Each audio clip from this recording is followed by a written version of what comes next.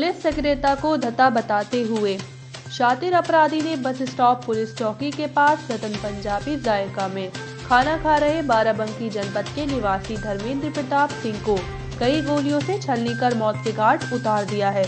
Police के शीर्ष अधिकारी मौके पर आ गए हैं। शहर में दहशत का माहौल है।